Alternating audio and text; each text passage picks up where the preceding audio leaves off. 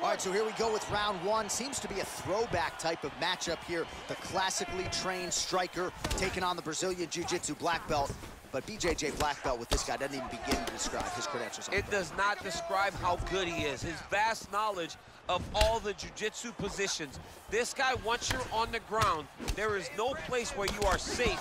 You are constantly getting attacked. He's always throwing up submissions. He's always attacking arms. He's always attacking your neck, doing everything to try and make you think submission's coming, even if it's just to change positions to secure top. Good series of strikes for him there, staying busy and staying accurate. I mean, the accuracy is unbelievable. Well, we talked about his reach advantage off the top. Made good use of it there with that punch, DC. Oh!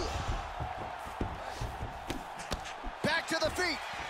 What a fantastic strike to throw at the exact right moment. He deserves this moment. Go finish this fight.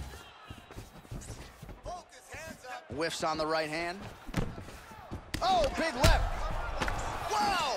Oh, he's hurt bad. Oh! He's out! He got him!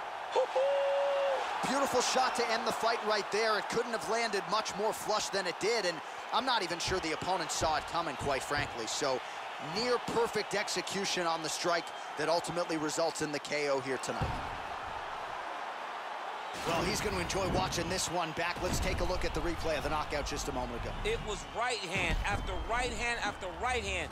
Finally, he found the one that hit the exact sweet spot that ended his